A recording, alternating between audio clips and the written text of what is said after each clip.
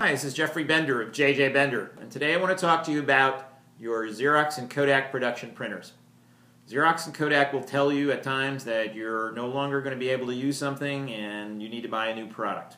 Well, that's just not the case because we can retool them, refine them, refurb them, or add special features to make them work for the next three to five years.